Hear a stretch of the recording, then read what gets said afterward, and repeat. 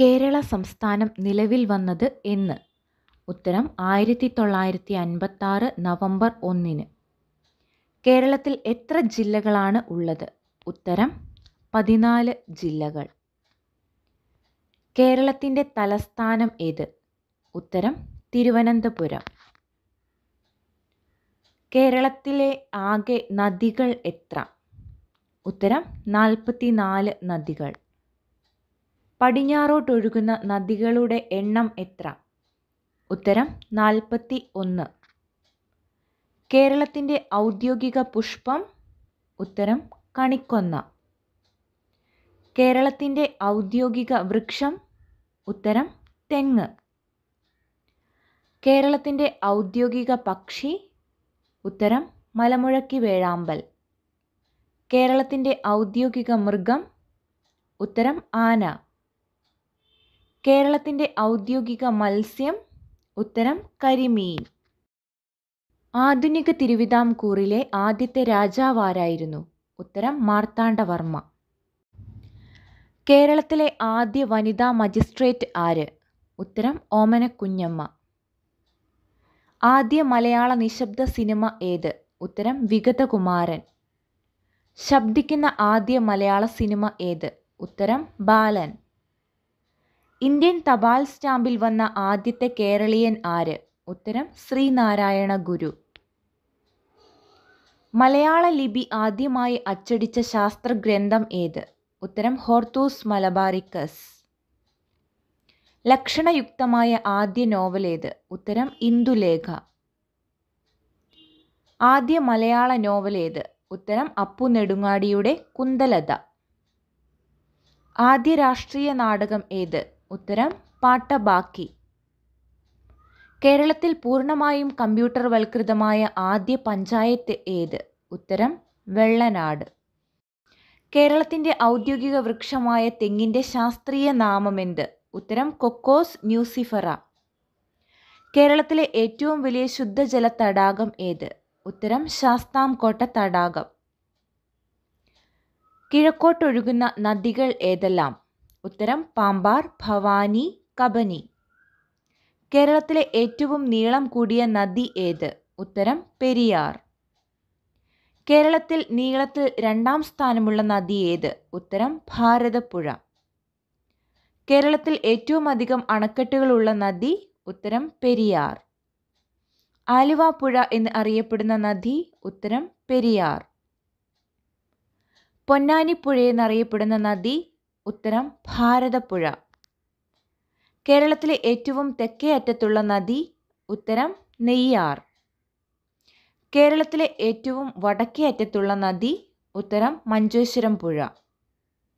കേരളത്തിൽ ആകെ എത്ര കായലുകളുണ്ട്? ഉത്തരം മുപ്പത്തി നാല് കേരളത്തിലെ ആദ്യത്തെ വന്യജീവി സങ്കേതം ഏത്? ഉത്തരം തേക്കടി വന്യജീവി സങ്കേതം.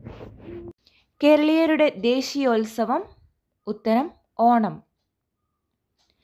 കേരളത്തിലെ ആദ്യ മുഖ്യമന്ത്രി ആരായിരുന്നു? ഉത്തരം E M S Namboodiripad.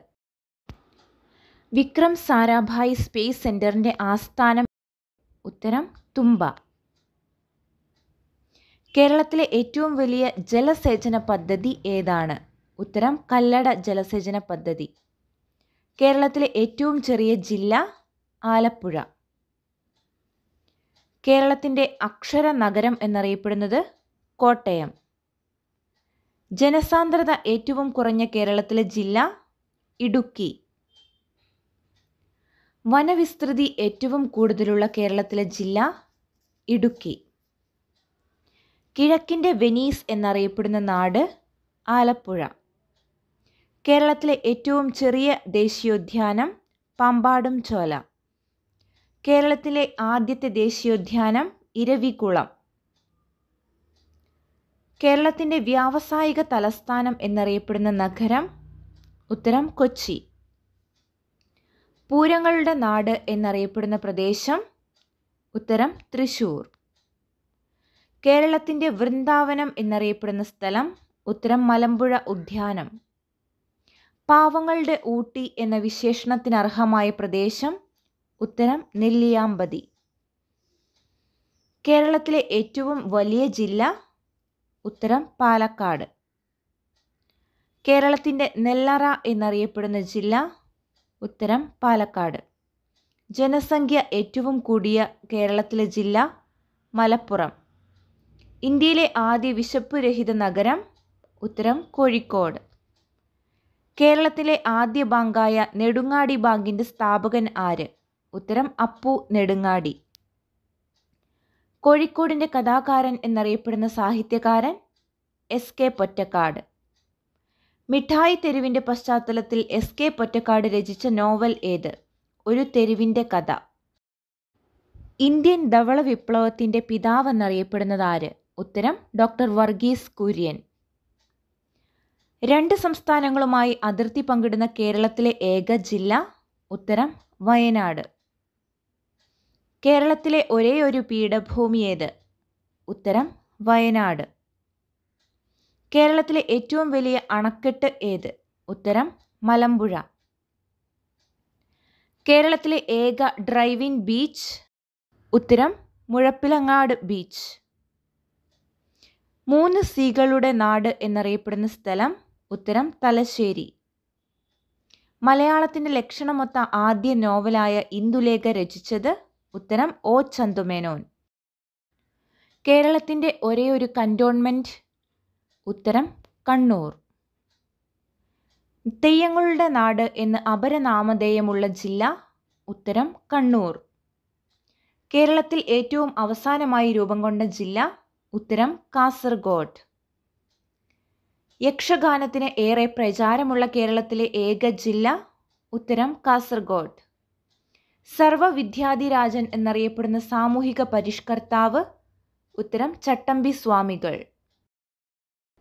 അധസ്ഥിതരുടെ പടത്തലവൻ ആളിക്കത്തിയ തീപ്പൊരി എന്നിങ്ങനെ വിശേഷണങ്ങളുള്ള സാമൂഹിക പരിഷ്കർത്താവ് ഉത്തരം അയ്യങ്കാളി. തിരുവിതാംകൂർ രാജഭരണത്തെ കരിനീജ ഭരണമെന്ന് വിശേഷിപ്പിച്ച സാമൂഹ്യ പരിഷ്കർത്താവ് ആര്? ഉത്തരം വൈകുണ്ഠ സ്വാമികൾ ബ്രിട്ടീഷ് ഭരണത്തെ വെണ്ണീജ ഭരണമെന്ന് വിളിച്ച സാമൂഹ്യ പരിഷ്കർത്താവ് ആര്? ഉത്തരം വൈകുണ്ഠ സ്വാമികൾ ഗുരുക്കന്മാരുടെ ഗുരു എന്ന് വിശേഷിക്കപ്പെടുന്ന സാമൂഹിക പരിഷ്കർത്താവ് ആര്? ഉത്തരം തൈക്കാട് അയ്യാ സ്വാമികൾ ഈഴവരുടെ രാഷ്ട്രീയ പിതാവ് എന്ന് വിശേഷിപ്പിക്കപ്പെടുന്നത് ആര്? ഉത്തരം ഡോക്ടർ പൽപ്പു. ഡോക്ടർ പൽപുവിന്റെ നേതൃത്വത്തിൽ ഈഴവ മെമ്മോറിയൽ നടന്ന വർഷം ഏത്? ഉത്തരം ആയിരത്തി എണ്ണൂറ്റി തൊണ്ണൂറ്റാറ് ജാതി വേണ്ട മതം വേണ്ട ദൈവം വേണ്ട എന്ന മുദ്രാവാക്യം മുന്നോട്ട് വെച്ചതാര് ഉത്തരം സഹോദരൻ അയ്യപ്പൻ.